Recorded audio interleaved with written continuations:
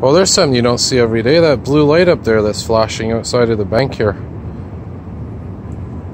I'm not exactly sure what this light means. I know it has a specific meaning. I don't know if it's some kind of a security feature. It means that maybe there's a door left open or something, but again, something I haven't seen in a while. I know the old banks have these lights outside of them as well. Did a video of them a while back. Those old fashioned emergency lights outside of those old bank buildings. Anyways, something different. All right, have a good night, all.